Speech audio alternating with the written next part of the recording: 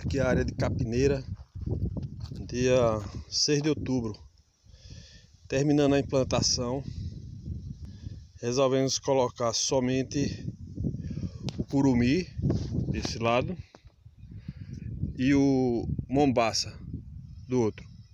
E intercalado o capim búfalo. Vamos ver o resultado aí, ó. Nas covas do curumim, a gente plantou também uma leguminosa, a jureminha. Tá saindo.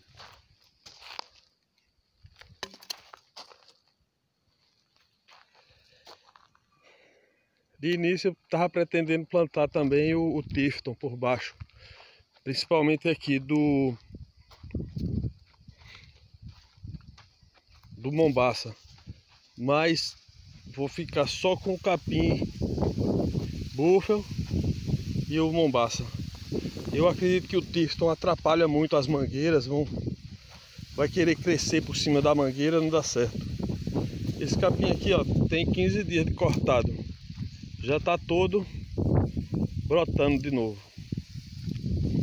Algumas toiceiras aconteceu deles produzir semente, né?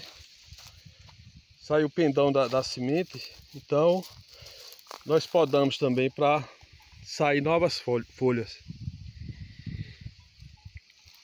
Vamos ver se, se o curumi ele vai ele vai responder aqui ao, ao sistema, né? Tá bem tá bem situado. Tá saindo bem. Não pode faltar água, né? Capim gosta de água, que eles gostam mais de, de água mesmo. O capim bufo também está bem, bem saído também.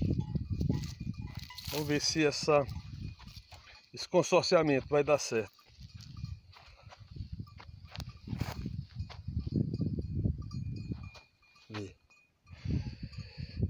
Aguardar, daqui a um mês vou olhar de novo como é que tá aqui.